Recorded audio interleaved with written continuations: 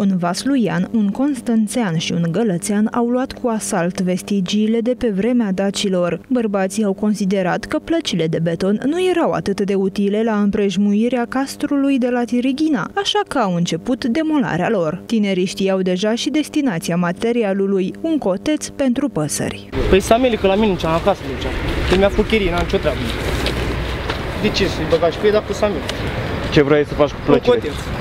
Un? Un coteț de păsări. Ei n-au nicio treabă. Eu le-am Ați găsit. declarat că ați luat și două plăci din gard. Nu era nicio plan la aici, le-am găsit toate, grămadă spate. O echipă de intervenție rapidă din cadrul Poliției Locale Galați s-a deplasat în zona castrului roman de lângă DN25, în urma unei sesizări telefonice. Oamenii legii au prins pe hoți exact când încărcau căruța cu plăcile din gard. Materialele furate au fost confiscate, iar cei trei hoți au plecat acasă cu dosare penale.